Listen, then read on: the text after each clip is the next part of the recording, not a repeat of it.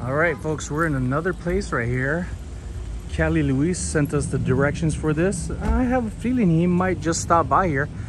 MCC Thrift Store, where every purchase is a gift to the world.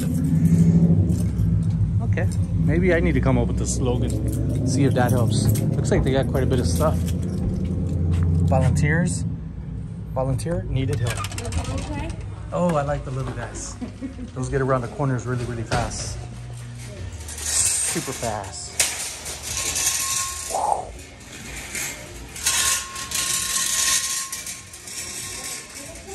It's kind of... All right, let's go.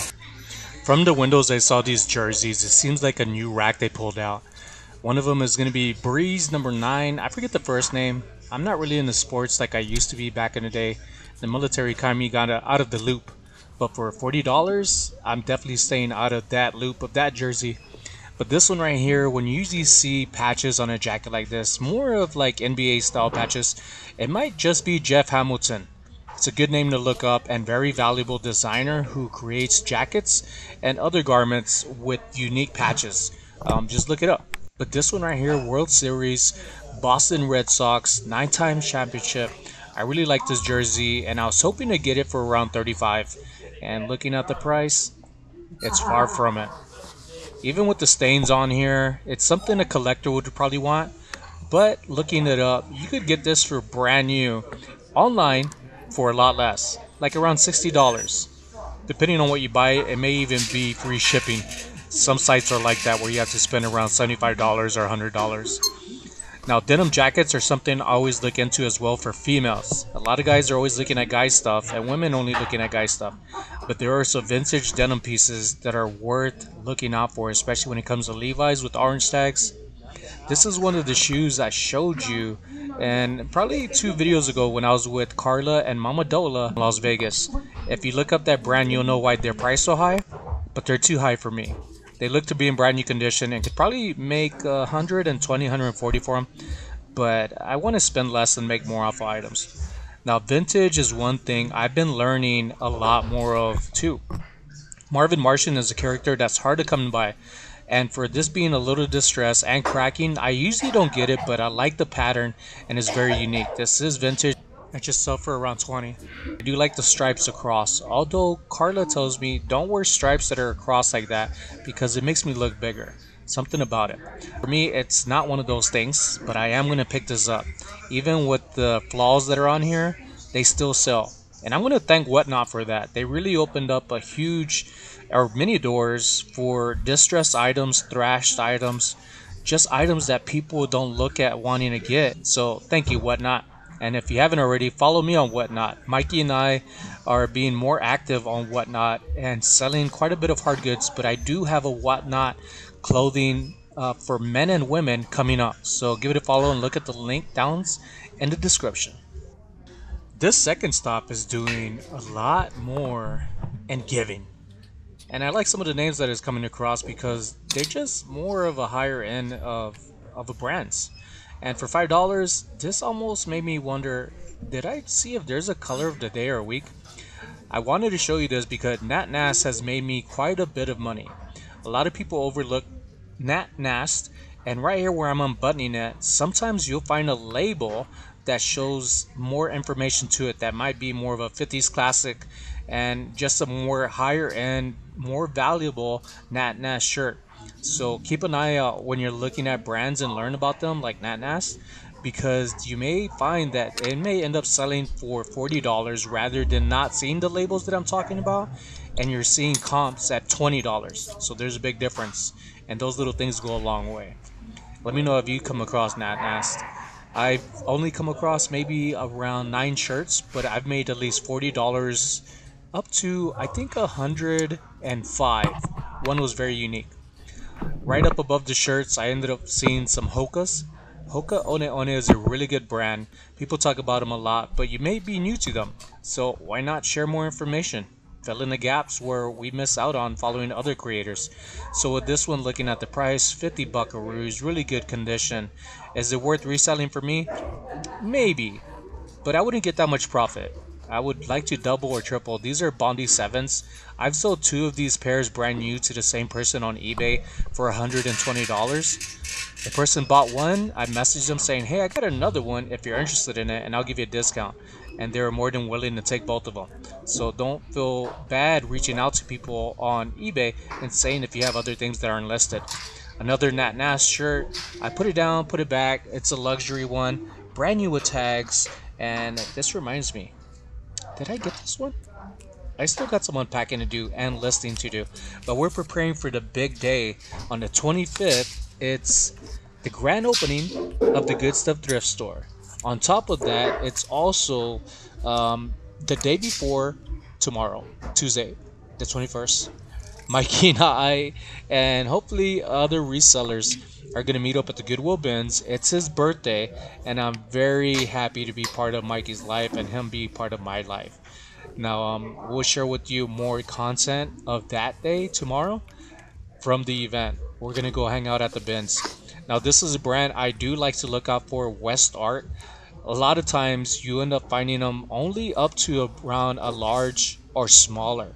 This is the first time I come across a blank one. So I'm investigating every little thing because I get super excited. I get it home after paying for it then realize there's some flaws. Now West Art for this and being a very large size and I'm thinking California, LA Dollar, LA Dodgers and customizing on it. That's what I think about when I come across blank apparel. It's a blank canvas. Now every snap on here worked and I'm checking every little one because I bought a shirt and the only thing I didn't check was the cuffs. And unfortunately one of the buttons on the cuffs on a snap uh, pro snap shirt uh, it's probably going to take away from the value. But with this jacket it should make around $60 or more. This is a brand that I love Ariat FR fire retardant. You want to look out for these. They usually have a number on the back of the belt loop which usually has cat one two three four or more um, i've only come across two but they're really good pants i've sold them for $45 up to $65 and I've even got some complaints on Instagram from people saying that theirs never sell for that much. Now, for me, I put all the information in, and I talk about this often.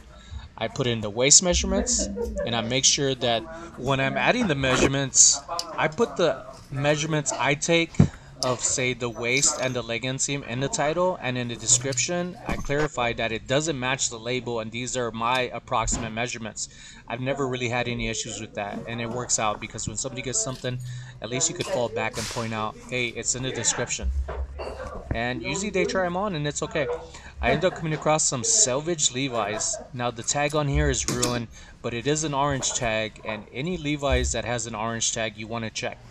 One thing I also learned is that that back pocket, if there's one stitch across, they call that single stitch for jeans. I didn't know that up until a few months ago. So for these, I'm pretty sure I can make around $40 or more. But again, I'm going to add information from the waist, leg inseam, leg opening, rise, also mention if it's a button fly or zipper fly. And all pants like these that have the belt on it, the belt loops, that's called belted. So um, it's a little funny because you could see it, but some people want that mentioned. And it might be keywords that pop up inside uh, eBay's algorithm or however it works. Now this style right here, this pants, um, the blue jeans are going to be more like a stonewash and these are heavy red stitching some people do mention that and hopefully it plays out that these end up making me around 40 to 50 dollars now this is also vintage with the paper tag and you can see the date up on the inside. It's gonna be I can't see it from here but do some research of what it goes by. Oh there it is. It January February March. March 1989 is when it was made. It was the top left corner of that paper tag. So again, I should get around 40 to 50 dollars for these. The chicken is zipper works, and even the zipper. If you look at the zipper and it has the wordings Talon spelled out, that's also important to mention. A lot of people look for that for some reason. And if you want to learn more and you have Levi jeans or other types of jeans that you can't get any information information on, check out some Facebook groups. That's what I do myself. I'm also looking if this is restitched at the hem of the leg opening and I don't think they are. It seems to be matching and seems to be alright. They also don't seem short. A lot of times I end up getting some really large pant sizes and they're re-altered at the leg inseam. Now this one was new to me with the leather tag of Levi's. I don't think I've come across leather tag Levi's. And for me, I think I'm gonna put it back, but I'm looking for the labels. The labels could tell you more than anything. If they're paper tags, if there's one label, it means it's at least early 2000s or older. If it has more labels than just um, like one, two, or three labels or watermark on there, usually that's more of a modern type. Again, orange tag. I got a big E right here, 2001. It doesn't mean it's vintage, but these are really good signs and the pattern on this definitely got my attention looking more into it i will show you i'm looking at the drag if there's any and i don't think this is a selvage jean there's two styles and i forget what type of style that is uh, i'll look it up and i'll mention in, in another video but there's a there's a button fly right there and then on the inside fresh leaves, justin timberlake brands like this do collaborations with artists. Right there where I'm pointing at has a number of what the pan is, which if, if it was 502, 501, 5 whatever, it's usually marked on the inside. Sometimes it's hard for me to see, so I just take a photo with my camera as our iPhone, and then I just zoom in and expand what the number is. So that way I ensure that it's legit. Just little markers to find out and follow.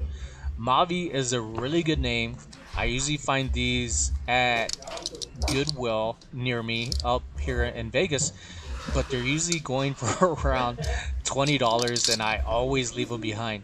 I should probably pick them up because it's still worth the get. But for this one for $7, this is uh, definitely going to be a good grab. So far so good with jeans. It's one of those things where you wish you would have just stopped at the jeans and started there because before what I showed you, I was in the hard goods section and there was a lot, a lot, a lot of buzzards like, eh, nope, eh, eh. and I'm really relieved that towards the end of our little shopping here that I'm finding some very, very good jeans for really decent prices. And this is making it all worth things. it. Huh? Had to go to my go-to jeans.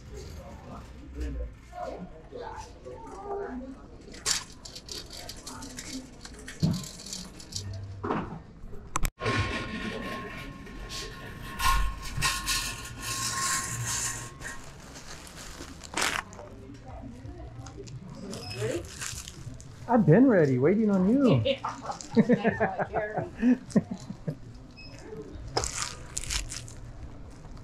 I invested $61.42.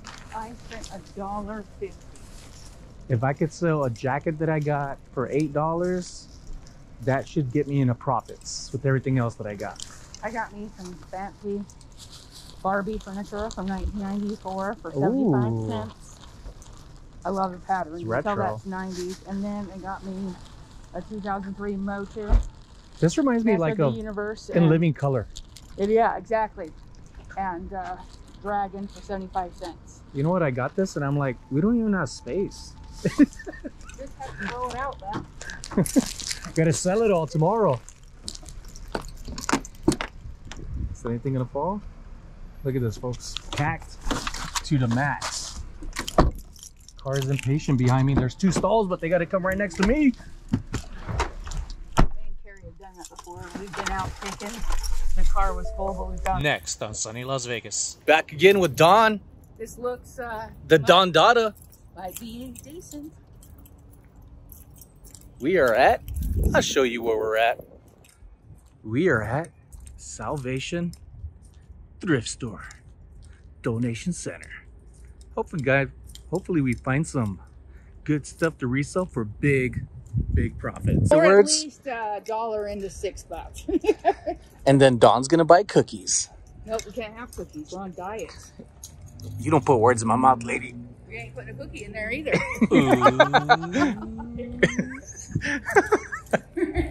Thanks for watching. We still have several more videos to share with you. So make sure to like, subscribe, keep commenting coming in me. Tomorrow, February 21st, Tuesday, is going to be Mikey Shirt Day.